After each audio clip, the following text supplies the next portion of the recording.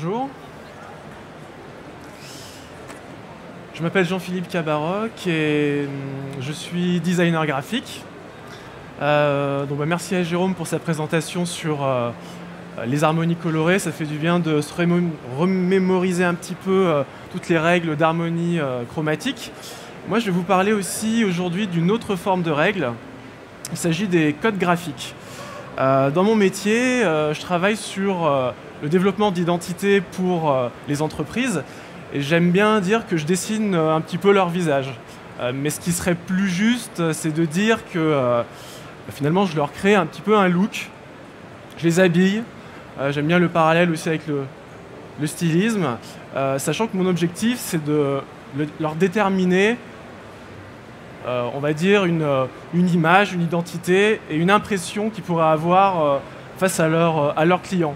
Alors on peut leur donner un aspect sympathique, on peut leur donner du charisme, on peut voilà, leur donner une impression joyeuse, joviale, ludique.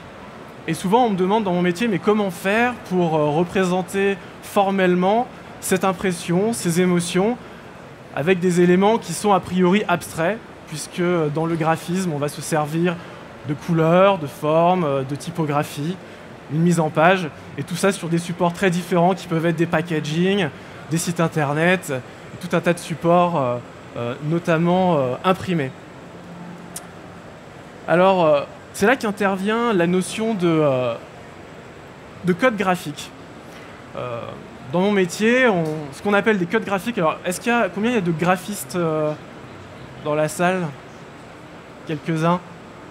Donc, les codes graphiques, ce sont, on va dire, un, ensemble de règles esthétiques qui permettent de donner du sens à tout ce qui va être des critères formels utilisés dans différents travaux euh, de design. Et je voudrais vous montrer quelques exemples, quelques catégories de ces codes-là et comment on les utilise dans un travail et comment on peut les exploiter pour créer des identités qui sont euh, différenciantes, mémorables, ou non d'ailleurs. Donc je voudrais vous parler de trois catégories, trois grosses catégories.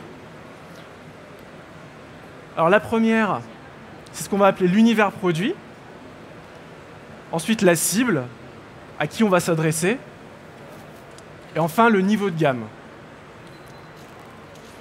Donc, je vais commencer par l'univers produit. Qu'est-ce qu'on entend par l'univers produit? Alors, ça peut être aussi euh, un service. Euh, mais ce qu'on entend par l'univers produit, c'est tout ce qui va être les références associées à un produit qui ne constitue pas forcément directement. Donc, je vais prendre un exemple. Si on prend l'univers du café, euh, l'univers du café, par défaut, ça va nous évoquer tout un tas, tout un monde qui gravite autour. Donc je prends le café, ça nous évoque tout de suite le grain. Donc le grain a une texture, a une couleur. On peut aussi penser à tout ce qui est l'environnement humain et social autour du café.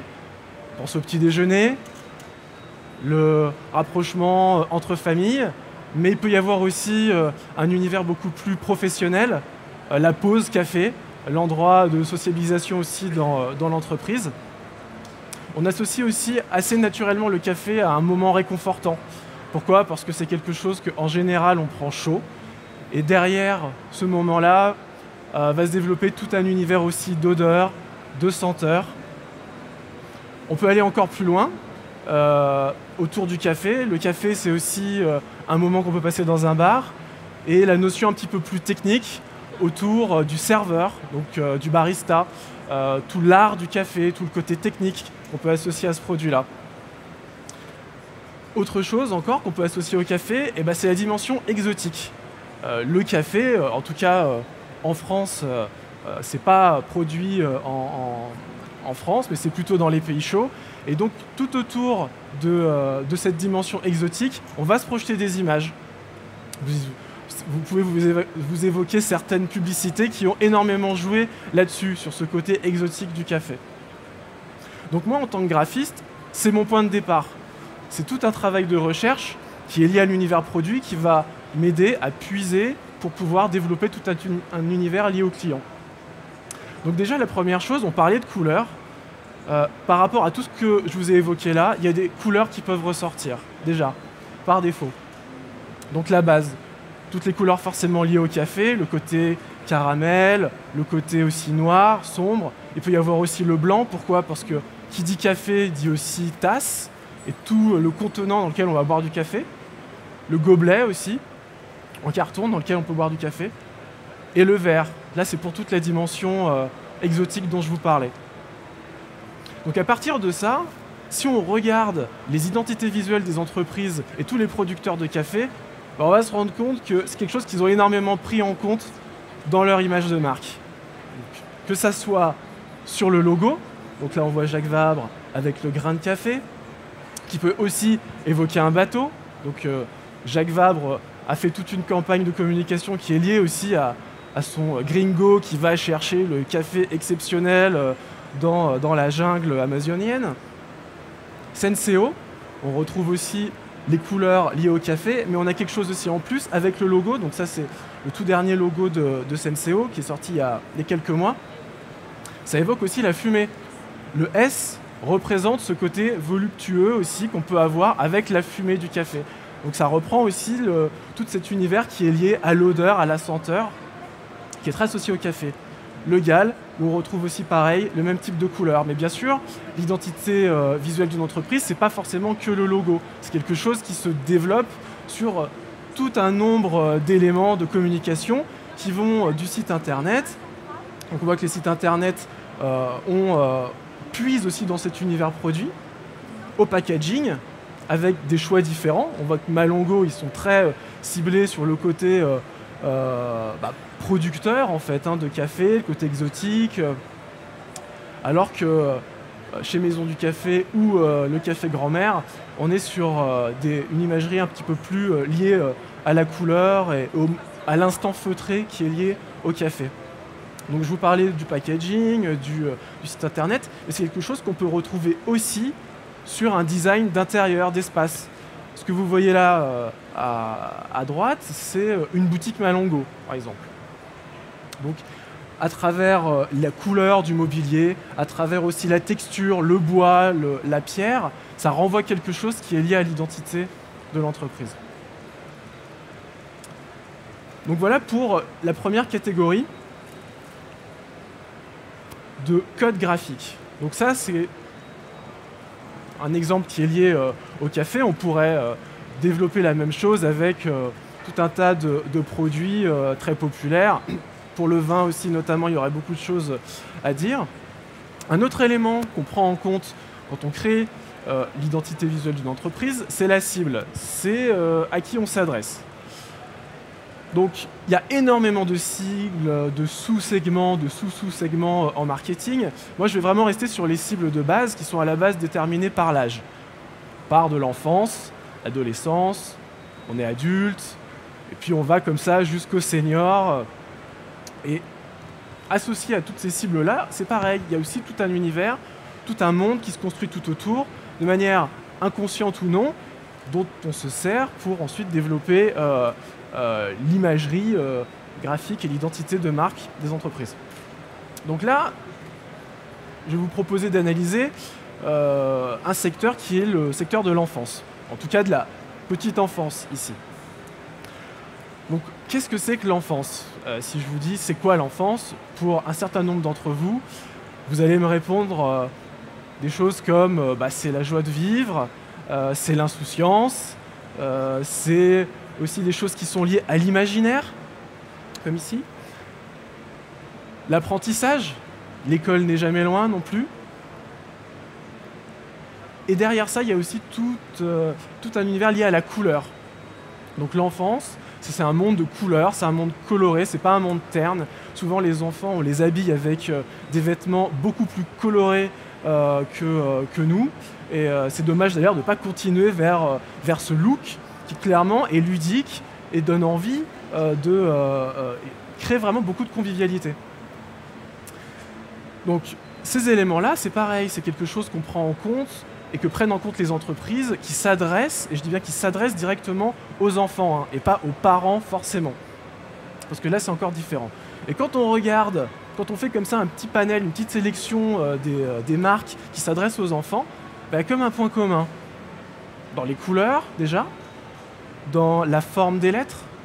Il y a plusieurs, euh, plusieurs typographies euh, qui nous évoquent, alors soit comme ici, l'écriture cursive euh, de, l'écolier, ou Little, Little Marcel notamment.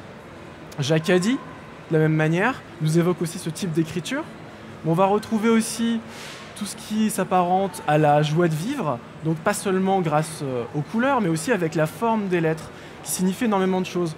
On voit qu'il y a plusieurs logos, notamment euh, Toys R Us, Hasbro ou Play School, qui ont des logos avec euh, des lettres qui ont l'impression d'avoir comme une vie propre, comme si elles avaient envie de sortir comme ça de leur, de leur logo.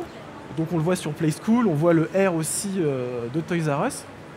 Et dans la forme, le Hasbro qui représente un sourire et qui là aussi est très cohérent avec l'univers de l'enfance qu'on peut, qu'on peut avoir en tête. Donc si maintenant je fais, j'ai fait une petite recherche des, euh, sites euh, internet, euh, des chaînes pour enfants, et là c'est la même chose, c'est-à-dire que tout ce qu'on a décrit et tout ce qu'on retrouve dans le logo, on le voit décliné aussi sur un habillage graphique de site internet. Donc on retrouve sur Tiji la notion du nuage, donc cette notion d'imaginaire aussi qu'on attribue à l'enfance. Et en ce qui concerne les choix qui sont faits dans les formes, on voit qu'on a une exagération des, euh, éléments euh, formels et visuels. Donc on voit qu'ici, carrément un petit poste euh, de télé qui est dessiné. les textes sont très gros, avec un gros contour. il y a quelques années en arrière, on, trouvait en fait ces codes graphiques développés un petit peu partout sur Internet. Il y a Aujourd'hui, il reste vraiment que ce type de secteur comme l'enfance où ces choses-là sont encore euh, visibles, alors que le flat design euh, sur Internet a inondé quasiment euh, tous les standards du, design, du design graphique. Donc d'ailleurs, ce qui est assez marrant, c'est que là, je suis en train de vous parler de codes graphiques qui sont bien sûr associés à des produits ou des services qui, par défaut, on va se dire oui, c'est très cohérent, on travaille sur une chaîne pour enfants, on va euh, développer des codes graphiques et esthétiques qui sont liés à l'enfance. Mais ça ne veut pas dire qu'on est obligé de le faire systématiquement sur des produits qui s'adressent aux enfants. Et quand je vous ai montré les photos là, euh, l'image avant avec tous les logos tout colorés, ça vous évoque pas une grosse société aussi qui euh, qui s'adresse pas du tout aux enfants? Google. Google utilise les codes de l'enfance dans son identité. Et c'est pas un hasard. Google, c'est une entreprise qui fait très très peur à beaucoup d'entre nous parce qu'aujourd'hui, euh, c'est un mastodonte qui a énormément d'influence sur nos données. On ne sait pas exactement comment ils vont les utiliser euh, dans l'avenir. On sait qu'ils investissent énormément dans l'intelligence artificielle. Et je veux dire, pour beaucoup, euh, Google, c'est le Skynet de Terminator, en fait. Sauf que dans l'imagerie, on n'est pas du tout sur quelque chose de terrifiant. On n'est pas du tout sur des couleurs qui sont sombres, qui sont... alors que Google ne s'adresse pas spécifiquement aux enfants. Mais si, euh, je ne sais pas, une personne aurait vécu 20 ans dans une grotte, qu'on la fait sortir au jour et qu'on lui montre ce logo et qu'on lui dit, bah, d'après toi, euh, à qui s'adresse euh, Google, il est fort possible qu'elle évoque un univers qui est lié en fait à l'enfance. Donc c'est quelque chose qui est très intéressant parce que je vais vous montrer des exemples aussi où à la base un code graphique peut être exploité de manière très basique et très cliché et comment on peut les détourner, comment on peut créer aussi des subtilités derrière euh, euh, ces, ces, univers qui sont évidents au premier abord. Et enfin, il y a un dernier élément qui est le niveau de gamme. Alors ce qu'on va appeler le niveau de gamme, c'est en gros la qualité et le, euh, tout ce qui va être le qualitatif qui est lié à un produit spécifique. En gros, est-ce que c'est pas cher ou est-ce que c'est très cher, si, je, si je simplifie. Donc il y a trois niveaux principaux. Il va y avoir l'entrée de gamme qui est, euh, euh, on va dire, le premier prix, les produits d'appel, le milieu de gamme et ensuite le haut de gamme. On peut monter aussi jusqu'au luxe, euh, qui est encore un secteur spécifique. Et justement, je voudrais vous parler du luxe. le luxe, on décode vraiment très, euh, euh, très précis, qu'on retrouve notamment dans tout ce qui va être la bijouterie, euh, l'horlogerie. On va avoir aussi sur la parfumerie et la haute couture. C'est les grands secteurs qui communiquent souvent toujours de la, même manière. donc qu'est-ce qu'on va, va voir souvent? C'est que le produit est magnifié. Souvent, on a des photos qui enlèvent le produit de toute fioriture. Il y a un travail d'éclairage qui est très spécifique. Et en ce qui concerne après la publicité, il y a des codes euh, qui sont associés euh, de la même manière avec euh, souvent des, mannequins ou des stars, comme on voit avec Chanel. Et en ce qui concerne le, travail aussi de, l'occupation de l'espace des produits, il y a énormément de, de blanc, ce qu'on va appeler le blanc, c'est-à-dire les éléments où il n'y a pas d'éléments graphiques. Donc de la même manière, il y a euh, des entreprises qui ont utilisé ces codes-là et qui ne sont pas forcément euh, par défaut dans le domaine euh, du luxe. Vous en avez peut-être un en tête, c'est Apple. Apple, c'est une marque qui a énormément exploité ce code du luxe et aujourd'hui qui est énormément copié aussi, mais c'est une des premières sociétés de micro-informatique qui a appliqué les codes du luxe à ses produits. Clairement, Apple n'a jamais voulu vendre des produits qui étaient considérés comme bas de gamme, et donc, dans l'imagerie, ils travaillent toujours sur ces codes-là. Si vous allez sur le site, euh, site d'Apple, on le voit sur tous, ces produits. Mais particulièrement sur le Mac Pro, qui est un peu la, Rolls-Royce un petit peu de, euh, tous ces produits. Euh, le Mac Pro, quand on va sur le site, c'est carrément un mini-site dans le site où on voit la décomposition de tout l'ordinateur, tout, est sur, tout est sur fond noir. On a vraiment l'impression de voir une Rolex, quoi, en fait. Et après, comme je disais au départ, c'est comment on va faire avec des éléments abstraits, type euh, typographie, pour représenter cette notion, voilà, typiquement de gamme. Je vous expliquer que dans, euh, euh, dans tout ce qui est haut de gamme, ou même le luxe, on utilise de la place. C'est-à-dire que, contrairement, si par exemple vous imaginez un prospectus de supermarché, vous allez avoir un, un, papier euh, de pas très bonne qualité et énormément d'informations, de prix, de photos, tout l'espace est comblé en fait. Et ça c'est quelque chose qu'on va retrouver dans beaucoup de communication qui est lié au discount. Je vous montrerai d'ailleurs des exemples après sur, euh, des sites internet. Et bien à l'inverse, une mise en page typographique qui qui veut évoquer ce côté élégant, ce côté classieux, ce côté haut de gamme, va prendre énormément de place. Donc à l'inverse, on ne va pas du tout économiser l'espace, on va utiliser énormément d'espace blanc, on va créer du vide, on va mettre des caractères énormes sur une page, des titres pas croyables, des contrastes aussi énormes, parce que justement, ça évoque cette notion de, euh, euh, de haut de gamme, parce que on peut prendre de la place, entre guillemets, on peut gaspiller du papier. Et ça, c'est quelque chose qu'on retrouve aussi beaucoup dans le domaine de l'impression. Euh, on, va le retrouver sur, par exemple, euh, ça peut être des catalogues d'artistes ou, euh, des documents d'invitation à des, vernissages de haute couture. Donc non seulement, bien sûr, il y a le papier, la qualité du papier. Je vous parlais du prospectus hein, de, supermarché, qui est très, quelque chose qui se froisse très facilement, qui se déchire très facilement. Donc à l'inverse, sur les notions de, de, haut de gamme, on va aller sur du papier très épais, texturé, euh, et je pense que vous pourrez voir aujourd'hui énormément d'évolutions et d'innovations qui sont faites liées aux textures de papier. Tout ce qui va être aussi la notion de gaufrage, de, volume et de matière dans le papier. Mais d'un point de vue euh, mise en page pure, euh, il y a toute cette notion de prendre de la place sur la mise en page. Donc de la même manière, il y a des des entreprises qui utilisent ces codes du haut de gamme alors que par défaut, ils n'étaient pas forcément connus pour être sur ce secteur-là. Et si j'utilise les codes du haut de gamme et du luxe et de la mode à des produits beaucoup plus euh, grand public, alors là j'ai sauté, un slide, j'y reviendrai. Donc en fait, en fait non, je pensais qu'on était beaucoup plus loin que ça, mais je voulais vous faire un petit, euh, un petit passage aussi sur les, euh, sur les logos de, euh, euh, de, grandes marques. Donc on voit quand même un point commun aussi avec ces logos-là.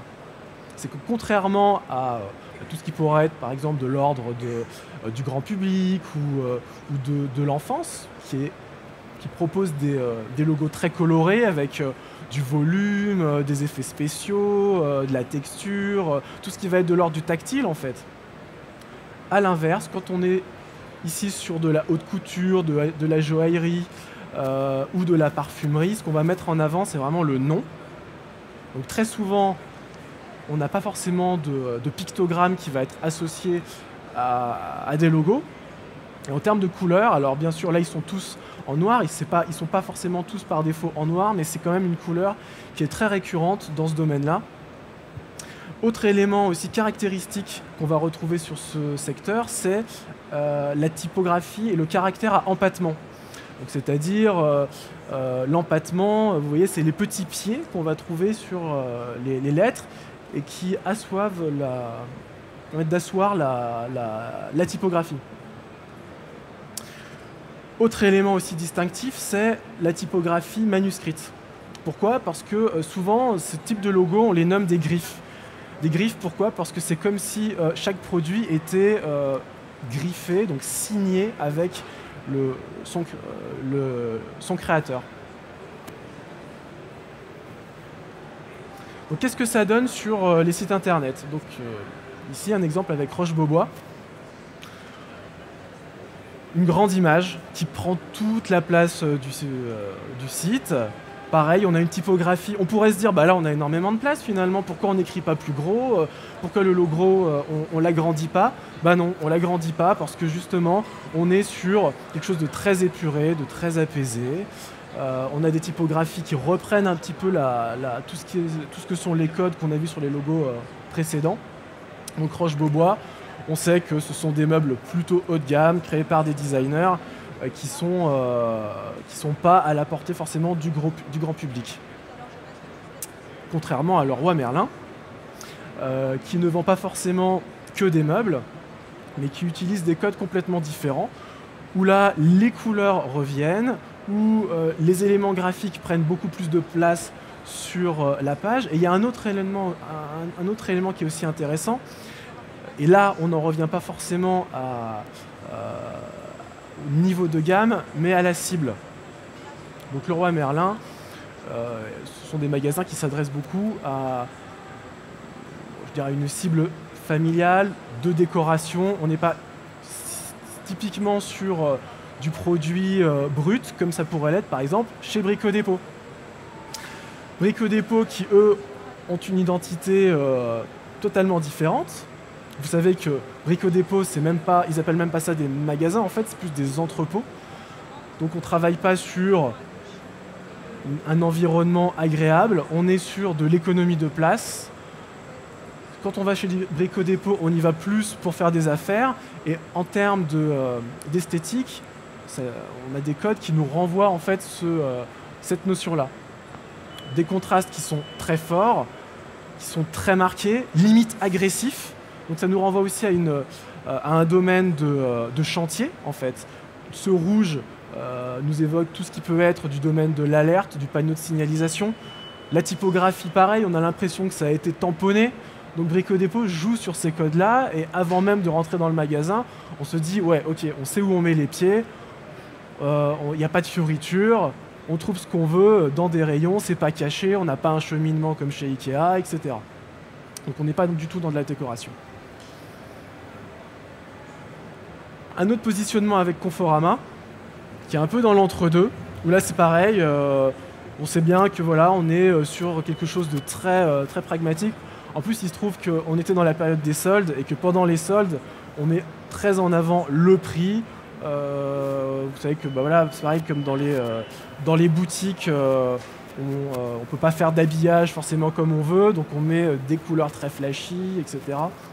Donc clairement, ce qu'on met en avant, c'est le prix, c'est la bonne affaire. Et la bonne affaire, on va le retrouver sur le numéro 1 de l'e-commerce, qui est Cdiscount. Alors Cdiscount, par défaut, on pourrait dire que c'est moche. C'est vrai que c'est un peu agressif, c'est pas forcément très joli, je suis d'accord. Mais c'est très travaillé en fait, cette esthétique-là. C'est très travaillé parce que quand on est sur un site tel que celui-ci, et qu'on a euh, ces contrastes qui sont très criards, avec des prix qui sont très gros, des prix barrés, etc., on se dit, bah, si je fouille un peu, je vais vraiment faire la bonne affaire. Et ça, c'est quelque chose qui est très mis en avant. Ces discounts, ça a été un des premiers, et ils sont très très copiés en fait sur euh, euh, sur cette esthétique graphique très, très agressive. Il faut croire que ça marche, puisque comme je vous l'expliquais, c'est quand même en France le, site numéro 1 dans le e-commerce. Voilà.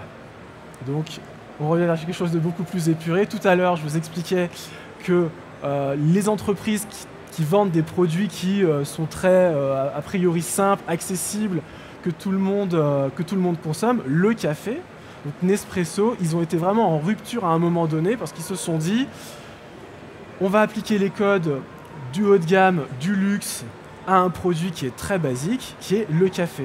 Et quand on pense à Nespresso, on ne pense pas forcément au café, on pense à tout plein de choses qui sont liées euh, au, domaine qui, peut être associé au luxe.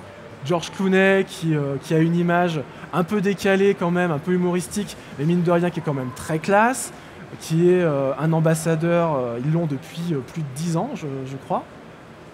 Et on retrouve aussi un code qui est lié à la griffe. Vous vous souvenez tout à l'heure dans les logos de marques de luxe, le côté griffe, le côté typographie faite à la main. Voilà, le Nespresso Waddles, c'est un peu une signature, c'est un peu comme si George Clooney venait mettre euh, sa signature sur, euh, sur la marque. On retrouve le côté noir, le vide autour euh, d'un produit, là en l'occurrence la cafetière. Mais en même temps, on n'oublie pas qu'on est dans le domaine du café. Et si je vois le logo et le N, de la même manière qu'on pensait avec Senseo à la fumée, bah là on retrouve un peu ce côté volute dans le N de Nespresso. Alors maintenant, je voudrais vous montrer des exemples, parce que bien sûr, là, je vous parle de code graphique, mais ça serait beaucoup trop simple si on avait juste un tableau en se disant, bon, quel est le produit, alors quel est l'univers, quelle est la cible, quelle est la gamme, et puis on place nos pions, et puis hop, on livre quelque chose au client. Non, ça c'est beaucoup trop simple. Tout le travail et tout euh, l'art aussi de créer des identités euh, visuelles pour ses clients, c'est de faire quelque chose qui est quand même différenciant. Euh, le client n'a pas forcément systématiquement envie de ressembler à son voisin, même si quand même un petit peu. Mais l'idée, c'est de toujours arriver à faire quelque chose qui soit unique pour, pour l'entreprise. Donc ici, un exemple avec un producteur de café, Café Balzac, où on voit un positionnement assez différent, mais on retrouve quand même euh, des éléments qui peuvent être liés à tout l'univers du café, notamment avec le packaging et les couleurs qui sont brutes. Donc là, ça peut nous évoquer le côté aussi naturel ou, ou artisanal aussi du café. Mais par contre, on voit que sur le site, on est sur un univers assez, euh, assez différent de ce qu'on a l'habitude de voir, avec un parti pris sur de l'illustration. Mais là, typiquement, ils sont sur une campagne qui est liée à l'hiver, donc l'illustration est liée aussi à cet univers-là. Mais malgré tout, c'est pas complètement déconnecté avec l'univers du café, parce que je vous expliquais que tout à l'heure, le café, c'est aussi un moment rassurant, c'est un moment agréable, c'est un moment qui réconforte. Et qu'est-ce qu'on voit sur l'illustration? Une dame qui certainement n'a pas très très chaud, mais qui a l'air de se réchauffer avec son café agréable et qui rend peut-être euh, euh, la froideur de l'hiver beaucoup plus facile euh, à, à tenir. Un autre univers qui est en France extrêmement codifié, traditionnel et qui a du mal à bouger, c'est l'univers du vin. En France, le vin, les étiquettes sont toutes à peu près euh, les mêmes. On a euh, un château en gravure avec une, écriture euh, à la main, une étiquette grise, et on ne bouge pas de ça. Alors les études ont montré qu'il y a eu des essais qui avaient été faits ou des propositions d'identité complètement différentes et qui cassaient cette image euh, de, l'identité et du, euh, de la, euh, du code graphique du vin à la française avait été testé. on s'est rendu compte que les, les, les, baisses, les, les, ventes avaient baissé. Et là, ça, ça, me permet de vous dire aussi une chose par rapport au code graphique, c'est que c'est très lié aussi à la culture. Le sens d'un rouge, d'une typographie, peut-être même d'une mise en page, n'est pas le même forcément d'une culture à une autre. Donc en France, où on a une histoire qui est euh, très ancienne avec le vin, il y a des codes qui sont très ancrés et dès qu'on va casser ces codes-là, il va y avoir des répercussions qui pourront être euh, dramatiques en fait sur, sur les ventes. Mais si on est dans un autre pays, comme les États-Unis, qui n'ont pas forcément la même culture, on va pouvoir se permettre des choses qui sont totalement différentes. Donc ici, on a un exemple avec euh, un vin qui est, je crois, allemand, ou en tout cas c'est un producteur, une marque allemande, qui a travaillé sur bah, les codes de, la mode en travaillant sur le motif. Donc quelque chose de très coloré. C'est très, moi je trouve ça très beau, mais je suis pas sûr d'avoir envie d'acheter la bouteille, ou en tout cas, si je la goûte, peut-être que inconsciemment, je vais me dire qu'elle est peut-être un petit peu plus, euh, un petit peu, euh, c'est un vin qui est peut-être de moins bonne qualité. Alors que pourtant, au niveau graphique, c'est quand même assez, euh, assez travaillé. Donc ça, c'est important à prendre en compte aussi dans l'école graphique, et c'est pour ça que c'est pas si facile à mettre, je dirais, à mettre, à mettre en forme. Une marque que vous devez connaître, qui a aussi joué sur un décalage total dans leur création, c'est Michel et Augustin. Donc Michel et Augustin, euh, qui était sur un secteur très concurrentiel, euh, qui a euh, été très connu en fait aussi pour leur image complètement décalée. Il faut savoir que Michel et Augustin se situent plutôt sur le haut de gamme, donc à, à concurrents équivalents, on est sur des prix un petit peu plus chers. Donc on va les trouver pas forcément dans la grande distribution, mais beaucoup sur des, des enseignes comme Monoprix par exemple, ou aussi des, magasins spécialisés. Et eux, ils ont complètement pas forcément révolutionné le genre, mais en tout cas, ça a été les premiers à casser cette image. parce que bon, la vache à boire qui les a fait connaître, c'est en gros l'équivalent d'un yop, quoi. Voilà, on est là-dessus. Ils vendent des sablés, donc il y a plein de marques qui vendent des sablés.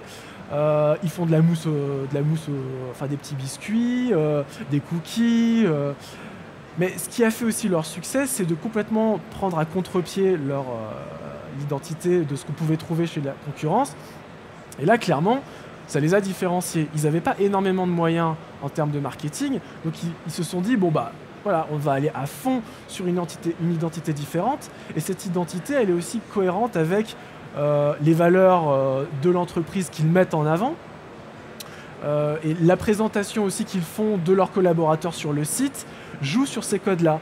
Et là, vous pouvez voir des choses qui sont liées aussi au domaine de l'enfance. Quelque chose de très ludique, de sympathique, mais on ne s'adresse pas forcément aux enfants.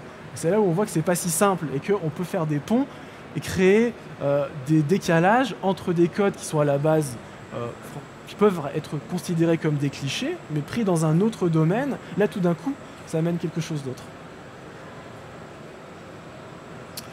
Et enfin, euh, une, dernière, euh, une dernière entreprise dont j'aime bien euh, l'identité, qui est Briochin, qui est une marque française de produits de... comment on appelle ça bah, De produits pour faire le ménage, en fait, hein, de produits d'entretien on va trouver du, voilà, bah, du, savon noir, des produits pour entretenir les sols, faire la, vaisselle. Donc là, on est sur tout ce qui surfe sur la mode du rétro. Donc derrière, il y a toute une image de produits sains, produits qui sont faits à la manière d'antan. Et derrière les codes graphiques, on va voir depuis le logo qui utilise une typographie ancienne, qui est aussi pas forcément très éloignée de ce qu'on peut voir dans les typographies euh, d'école, donc forcément quelque chose qui nous est sympathique, qui nous rappelle notre enfance et qui joue forcément aussi sur ce côté euh, euh, d'antan, produit d'antan.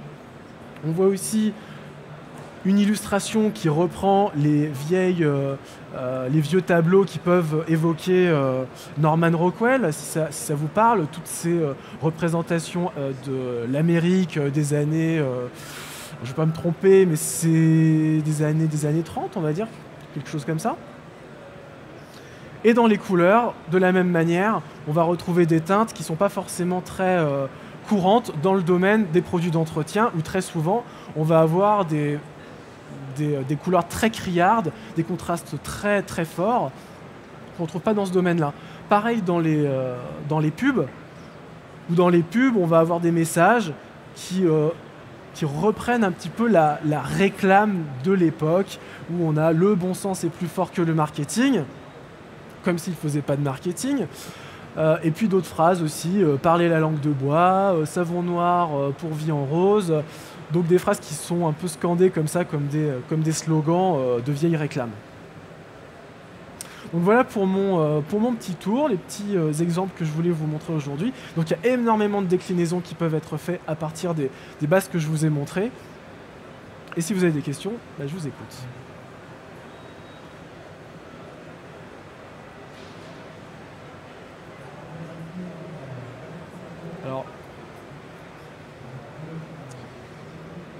Euh, tout à l'heure, vous avez parlé de Roche-Beaubois qui utilise une typo avec euh, un côté gras et puis un côté plus light. Euh, c'est dans Roche-Beaubois, vous voyez ce que je veux dire? Oui. Voilà. Donc il y a une typo grasse et une typo qui est light sur le même nom. ça renvoie quoi comme image quand on fait ce genre de, de contraste au sein même d'un même nom? Alors, il faudrait que je revienne en arrière. Donc vous disiez sur le logo de Roche-Beaubois, on utilisait une typo grasse et une typo Roche-Beaubois, ouais, sur Roche-Beaubois lui-même. En gros, qu'est-ce que ça renvoie quand on a un contraste comme ça de, typographie? Alors, il faut savoir que en plus de toute l'image et de tout l'univers que peut renvoyer des éléments graphiques, il y a aussi de contraintes de lisibilité. Donc souvent le, contraste, mais pas forcément dans la typo, hein, le contraste que ce soit dans la couleur, que ce soit dans la typographie, que ce soit aussi dans les formes, ça aide en fait à créer une hiérarchie visuelle et forcément à aider à la lisibilité.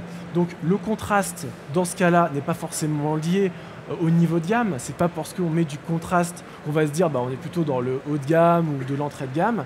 Dans ce cas-là, c'est lié aussi à la lisibilité. Donc c'est pour ça que souvent, euh, par exemple, dans les logos, on va trouver euh, un logo avec sa baseline. Bah, souvent, alors le contraste n'est pas forcément que lié à la finesse d'un caractère, ça peut être lié aussi à une taille. Il y a énormément de formes de contraste. Dans l'exemple que vous demandez là, euh, enfin que, vous, euh, ciblez ici, j'imagine que c'est plus lié à la, à la, lisibilité et pas forcément euh, au niveau haut de gamme de Roche-Beaubois.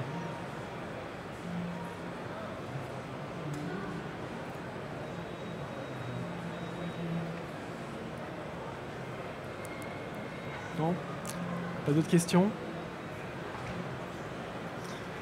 Bon, bah écoutez, en tout cas, si vous voulez euh, m'en poser après, je, je serai pas loin. Euh, je voulais aussi vous parler de Soon by Photolia, qui est un projet euh, qui inclut toute une sélection d'articles rédigés par des experts de la création dans tout plein de domaines différents, que ce soit le numérique, l'icône, la typographie, euh, et ça parle autant de la création d'aujourd'hui que de la création d'un point de vue prospectif, notamment par rapport à la réalité virtuelle. Pardon. Tout ce qui est euh, réalité augmentée également. Euh, donc bah, je vous invite, donc je suppose hein, que vous pouvez vous servir, voilà, donc on me, dit, on fait oui de la tête. Donc je vous invite à aller à vous servir et vous retrouverez aussi le complément de ces articles sur internet puisque c'est un projet mixte qui associe à la fois le papier et le numérique.